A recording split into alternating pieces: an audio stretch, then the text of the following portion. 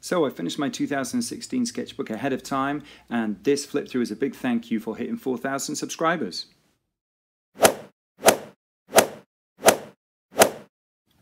So here we go, and we kick off with December uh, 20, 2015. So here we go. Um, I use my sketchbooks quite like a uh, scrapbook a lot of the time, sticking things in as well as drawing things in.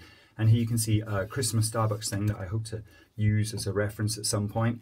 Then the last thing that I planned in my previous sketchbook, which was the 1000 subscribers thank you, uh, and that was just stuck in there so I had an idea of what I did at the end of the last sketchbook.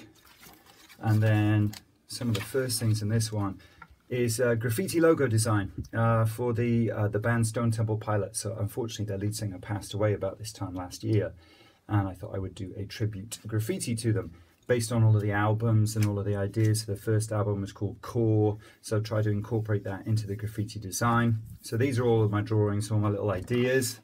Again, a few more over here, looking at classic graffiti letters and so on, trying to figure out how I'm going to put all the letters together, but also include all the ideas that I want to include. Haven't got around to the colouring stage yet, so I'll see what I can do with that one. Still want to do it. This is an idea for a friend who asked me if I could do some caricatures of their children and then do them in a sort of superhero style. And they wanted it by Christmas last year, and I just didn't have the time to get it done. So this is pretty much about as far as it got. I think there might be an ink sketch of him as Robin hanging around somewhere. So I'll try and find that at some stage. Then we got the uh, Andy Murray video that I did, I think one of the last videos that I did for Letraset's channel last year.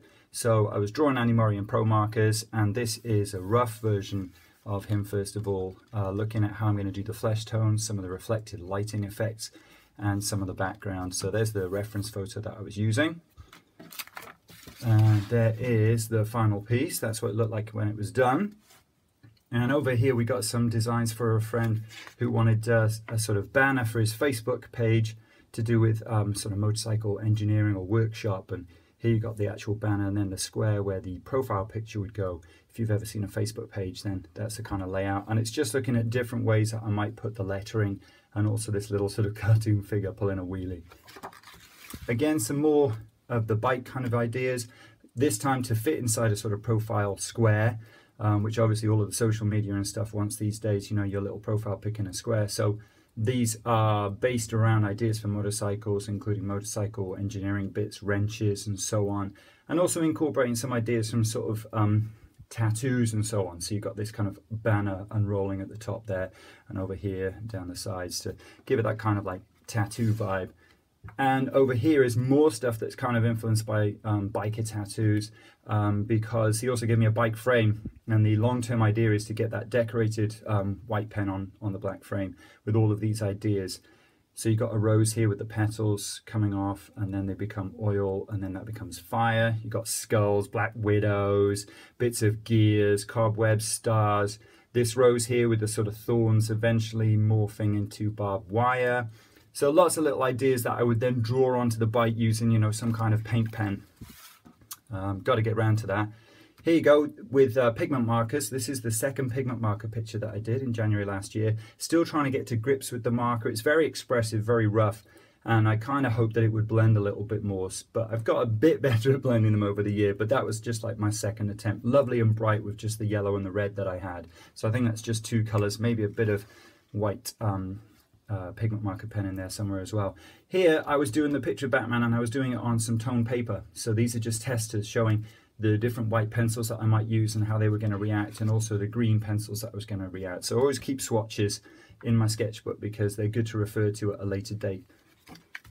Uh, on the next page, some ideas for Valentine's, just mucking about, just experimenting again with the pigment markers, uh, in particular colors, and this time really trying to use the white blender pen and seeing how it would work, you know, when colors left on the white blender and then you work it into the paper, you get this lovely ghostly sort of soft effect. Uh, but you can also get this really nice strong effect from just doing regular uh, pigment marking. you know, the colors are so strong with them. So just some ideas, just mucking about with some bits and bobs. Uh, and then here you can see some more ideas for the Valentine's card video that I made uh, back in February. And uh, you can see designs for, you know, some of the patterning that I might decide to do. This is on, again, toned paper, seeing how that would look. And then watercolor paper using paints and also Posca markers. And I think those two actually were in the video that I did eventually. So those two got translated to the final piece. That's just a little sketch of my daughter when she was eating and she was still wearing her Tommee Tippee bib. It's just me mucking about like a little caricature. And she loves Octonauts, so I have a long-term idea to do um, a sort of Octonauts idea that fits within a sort of circle, like a medallion, and it would involve Kwazii and his uncle Calico Jack. But uh, that's just a rough idea at the moment. Trying to fit everything into a circle is not as easy as I thought it would be. Now I talked about the bike idea earlier and these are some more um, bits and bobs for that. These are some of the bike parts and how I might decorate them. Just looking at ideas, looking at layouts, looking at some stuff that works and maybe some stuff that doesn't. So again, you've got the Black Widow spider, angel wings, checker pattern, um, splattering, uh, and over here, some of the barbed wire and skulls. Not too pleased with that skull. want to redo that in some way. Bike chains again. And these are just white Posca pen on top of um, blue paper. Uh, moving on, we've got looking again with the pigment markers. In January, February, I'd only just gotten the pigment markers, so I was well into using them and experimenting with them quite a bit. And this was sort of an experiment as to, could I do black outlines first and then work over them with the pigment marker? And what you can see down here is virtually every black um, kind of outlining thing that I have that I tried to use would smudge when I put the color over it afterwards. The only one that didn't was a black biro, just like a regular big biro. So that was something good for me to, you know, refer to for the future. So this is just me looking at a kind of background for some graffiti work. And on the next page, that's the actual graffiti that I did from it. So it's just a bit of using the Winsor and Newton, who actually make the pigment markers, using their sort of initials and doing a, a graffiti based on that. And for this one, after I'd done the pencil lines, I went over the pencil lines with Biro, then did this blue background all over, and then did the black outlines you can see around the letters, the white um, edging, the highlights, and the pink bits as well. So all of that was done afterwards, and the Biro allowed me to still see the lines. Over here is an idea for a Valentine's card. Uh, sort of logo, maybe do that next year. The idea of the, the, the question mark inside the heart, maybe, you know, maybe it's a bit too simple, don't know. Um, I always keep um, the sort of testers and swatches and working out that I try. So these are some of the workings out using the pigment markers and the white pigment marker before I went ahead and did the actual finished magnolia. From that, over here another swatch for the white iris. Like I said, always keep them, always good to refer to at a later date. And here is a, I got a stack of research pictures in my little studio. And every now and again, I realize I got too much and I've really got to do some of those sketches. Um, so it's stuff that I like, it's a style that I like, something that looks really good, and I want to, you know, learn how to do that. So these are by Humberto Ramos who is a comic book artist who's done stuff like uh, Spider-Man and X-Men and so on. And uh, here's a couple of my versions of drawing his stuff. This one's going to be a marker eventually. These two are in uh, Pro Marker, just looking at flesh tones and also how to get this lovely big fat reflection, the white manga type reflection in the eyes and how that can work. Looking over here, I knew I wanted to do a background to some of my ink pieces, but I didn't know what to use. So here I did a comparison between Quink ink and Payne's Grey and ended up using Payne's Grey because it's got that lovely grey blue kind of feel but Quink also has this kind of blacky browny yellowy kind of look but what I was finding with that was that was staining the paper quicker than I could blend it whereas the Payne's Grey watercolor was a lot more easy to use and I was okay using that um, so that's one of the reasons why I chose it. Over here we got Akuma from Street Fighter. And again I like this reference picture hanging around in my studio for a year or so. And I love the hair and I really wanted to have a go at doing that using markers and using um, white pencil for the highlights. And then it didn't show up strong enough so I used a white Pentel Signo gel pen on top to make those highlights in the hair stronger. And there's a video for that on my channel. I'll put all the links to some of the videos that um, I talk about here in the description below. More swatches for the daffodil picture sometimes when you've worked with markers and you can see the markers going through the page, there's not much you can do on that next page, that facing page. So I often find that I stick things on this page um, to cover over the marker stuff that's leaking through. This was uh, the rough that I did for my three marker challenge, USB man. So I was working out how I was going to use the three markers that I'd chosen and also how I was going to do some of the uh, highlighting. Ugh, not very good, but I like the other highlighting, so I did decide to go ahead and use that. So it's looking at whether I would blend the markers or whether I would do streaky kind of shading instead. Uh, what else we got here? This is a picture of a rose done using a calligraphy pen. So you've got that really big flat mark and then you tilt the pen on its side, you get that super razor thin line as well. Uh, and I just had a picture from a magazine that I liked and I thought, oh, I'll have a go at drawing that. And it was a bit sketchy and rough anyway because I hadn't used the thing in ages, so the ink had sort of dried in and it took quite a while to get working properly again, and it was a bit skippy and a bit rough and sketchy, but that actually suited uh, the pitch that I was trying to do, and I think that's no penciling out, I think that's just um, drawn straight with the calligraphy pen onto the paper. Here is a picture by a famous comic book artist again called Bill Sienkiewicz, and uh, he's done so many great things from the 80s up until now. And he's got a really fine art style of doing his comic book sketching. And I always love this picture of the Phoenix from the X-Men, um, you know, turning into the Phoenix, becoming a bit evil, uh, and his kind of sketchy shading and these lovely colors. And I'd done the coloring on this years and years ago. And last year I pulled it out and thought, I've really got to finish that. Um, so I got a Sharpie out and I just did all of the black um, shading and hatching here using a, a, Sharpie and then used a little bit of marker in the eyes and just to get some definition in the teeth. So really glad I got that finished. Glad I put the, uh, the shadows on that. Really needed it. A bit more calligraphy painting, uh, sorry, drawing with the calligraphy pen. Again, drawn on the spot, no penciling out, first of all, in a coffee shop, which is why some of the ellipses and stuff here might be a bit wonky, might not be quite right, but pleased with that considering it's what about 30 30 minutes drawing oh it was a hot chocolate not coffee.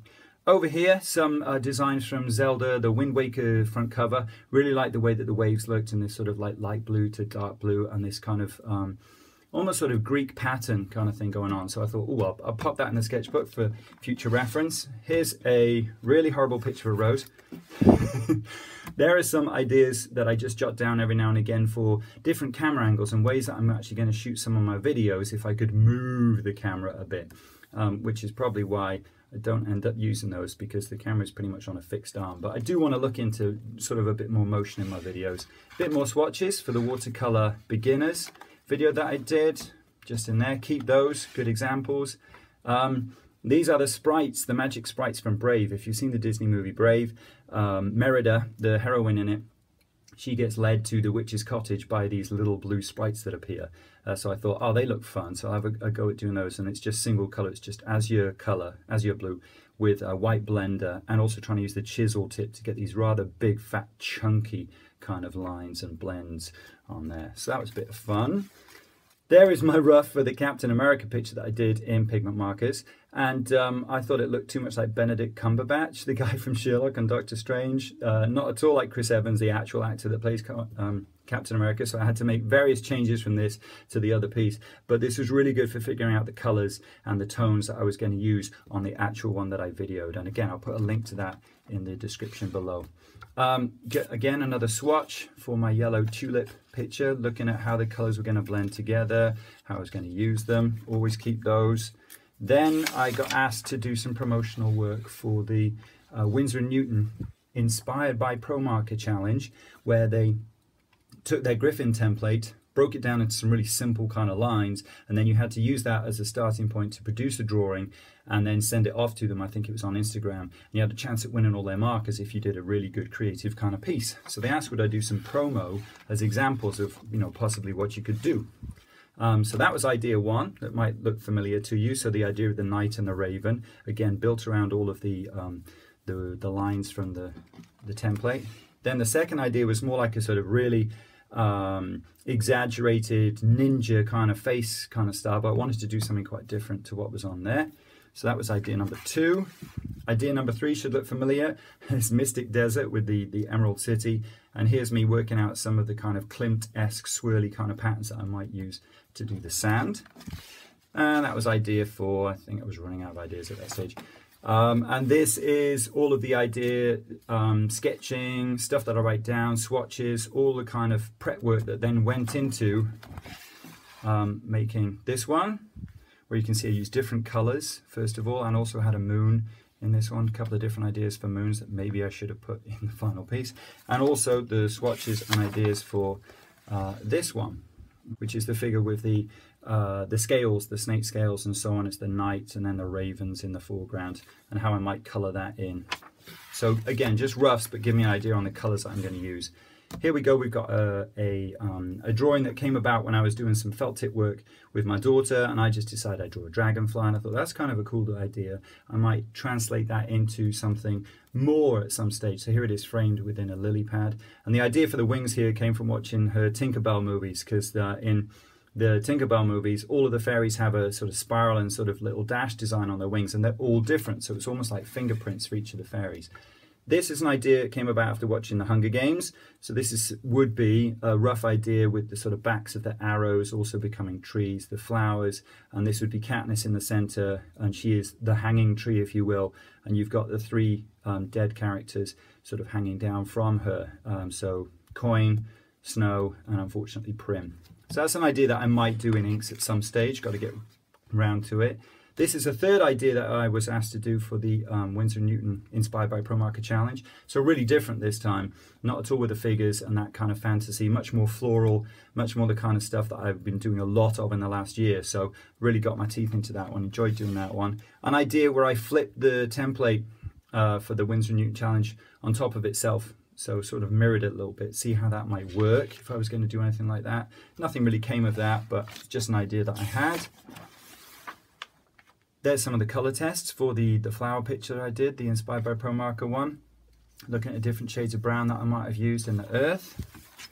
And uh, over here, there's just a, a, simple pic of how it actually ended up looking. And I'll put a link. Oh no, I didn't video that one. so I won't put a link for that one. You just can see it there. Here are some of my uh, ideas for using the Winsor Newton watercolor sticks that are like sort of watercolor in a sort of pastel stick kind of form. Uh, so I did some on, on different papers using different brushes for a video on this. And the video for this, I can put a link for below because it does exist. Uh, and I was just working out how they would work. Would I like using them compared to regular watercolors or not? A few more swatches using the colorless blender which are pigment markers. So I did a comparison video here, and this one was using the colorless blender, and this one was using the white blender. And I, even though the colors are a little bit dulled on this one, I preferred using the white blender to the colorless one. A few more swatches, a few more scribbly ideas, how to maybe do the petals a little bit more differently. Uh, and then I really got into doing some more of my graffiti research, hanging around, loads of little pictures that I like, and I want to learn how to do graffiti in that style. So this was just me using markers, fine liners and watercolor pencils to try and do some of those ideas in here. So I've got a record and I've worked my way through it. So I got an idea of the techniques that I would use if I was doing this myself. So a few of those. There's Daigoro from my uh, Lone Wolf and Cub uh, research for that particular video. This is a really nice reference photo that I like from some packaging from a store over in Britain called Marks and Spencer. And they packaged their um, chocolates in this lovely watercolor drippy, splatty, runny kind of effect. So what I was going to do was stick a watercolor piece of paper this side and have a go at doing that. And I will do, you can see June 2016. I've just been a bit sidetracked since then, easily happens. So over here, got some more graffiti pieces, trying to do different letters each time and different color schemes and different patterns. So I'm not just repeating the same kind of uh, piece again and again and again. And again, these are all using markers and um, watercolor pencils and uh, fine liners for the blacks and then a little bit more um, research. Uh, Itto from Lone Wolf and Cub, just looking at how his sort of mean face looks and some of the shading on his top before I went ahead and did that video of me and my daughter looking like Itto.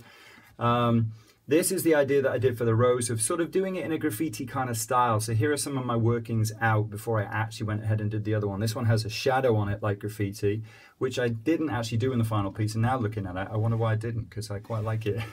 and over here are some color tests looking at different background color combinations and different color combinations and splatter effects on the rose versus not. So I had an example of what it would look like if I colored it just shading normally and what it would look like with the white highlights and the um, splatter kind of effect. So I've got that comparison all in one place instead of on two different pieces of paper. A um, little bit more just looking at using arrows and making some of the petals into arrows. Some more graffiti examples, again using markers and sometimes fine liner and sometimes um, the watercolor pencils as well to give it a bit of texture, a bit of blending. A picture of guacamole that I am going to do with markers at some point because I really love the greens. Again, that's just torn out of a magazine. The slug guy sweeping the floor from Monsters Inc. um, which I did using a brush pen that was slightly running out. So it's a bit like when your Sharpie's running out and you're using that and you get this kind of half-tone grey tone uh, instead of full-on black. And, and that looked pretty good. I was quite pleased with the way that that worked out. So I'd like to do some more stuff with running out brush pens if I can. Um, more swatches for the various flower videos that I've been doing um, this year. A couple more there. Uh, the Blue Iris fail that really didn't go the way it should have done, but I keep it anyway because it's good to remind myself of what I did and why it went wrong. Um, my daughter got a My Little Pony toy over the summer, and this was some of the packaging on it that I thought was really, really quite cool, really bright and colorful and decorative. And I thought, well, I'll, I'll get that sketched out because I might use that um, in some kind of later design, design piece of work.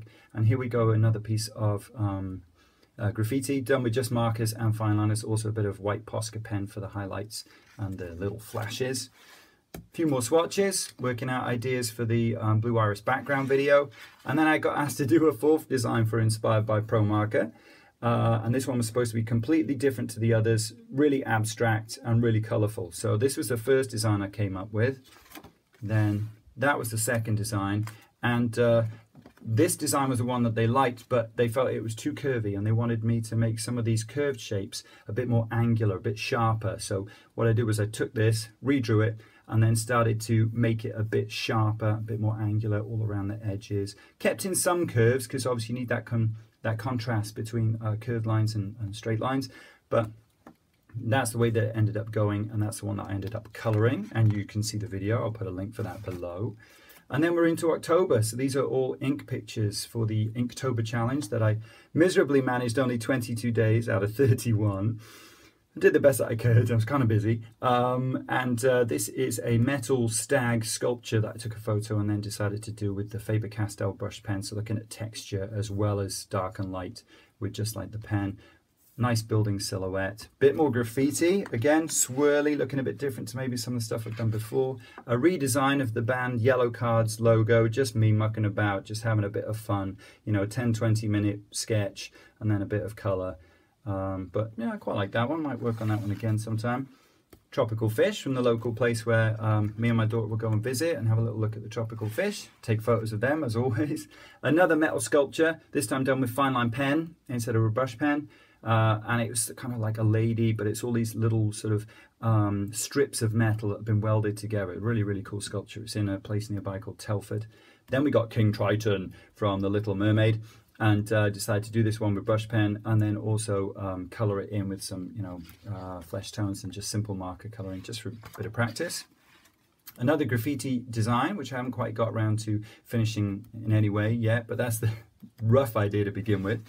Uh, then we've got a tree. This is Inktober again, a tree that looks a bit like a face, like one of the Ents from Lord of the Rings. And blueberry cheesecake, which is done with black brush pen, but some of these highlights are done with the white Posca pen as well. Afterwards, pop those in. Then we got some more Inktober, Queen Ursula from uh, Little Mermaid again. Black Shortcake, who is a gangster, allegedly.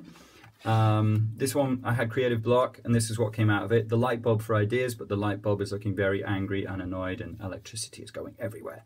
Uh, picture of Frank Grillo, the character actor from the uh, the Purge movies, um, and I need to do that one again because I don't think I got it quite right. Got the eye, but I messed up his nose and some of the other proportions on the face. So I might have another go at that later on in the year. Uh, some more Inktober stuff, so some fungus that I saw out when I was um, walking, took a photo of that, and a beetle, took a photo of that, and then I come back and I use the photos on my phone to do these sketches from. That's with fine line pen, that's with a brush pen. Cable from the X-Men. And uh, this was a really nice little logo that we saw, which was to encourage people to build dens in the woods with um, their children. So they're like the adult and child kind of there, and then they're building this, this little den. Uh, and I thought that was a really cute little graphic, uh, so I thought I'd do a sketch of that. Then I've got a sketch from the Georgia O'Keeffe exhibition that I was really lucky to go to in London, looking at all of her paintings and some of her early work. And this is one I hadn't seen before, really abstract, you know, and I was like, oh, that's really cool. Did a quick sketch of that. And then over here, another tree that looks a bit like a rather scary face. So it's probably just right that I was doing that for Inktober and Halloween. And then you're at the end of the sketchbook. So I've actually finished the sketchbook in a year, which is something I don't usually do. And here are just some rough bits of reference that I'm going to use at some point, and they just hang around in the back of the sketchbook until I get a chance to actually use them. But that is my 2016 sketchbook finished ahead of schedule. So this is my thank you to the 4,000 out there. All of those subscribers that keep asking questions, making comments, making suggestions, everything that keeps me super motivated to keep producing videos for my channel that I can share with you. So thank you so much for all of that. And also, I think 100 videos is coming up in about eight or nine videos time. So if you've got any suggestions for a special 100th video idea, then please leave a comment below. And if you like this tour through my most recent sketchbook, you might want to take a little tour through one of my old sketchbooks, one from the early 1990s when I was just still studying at school. I'll post a link for that below so you can check that out. Thanks so much for watching this one.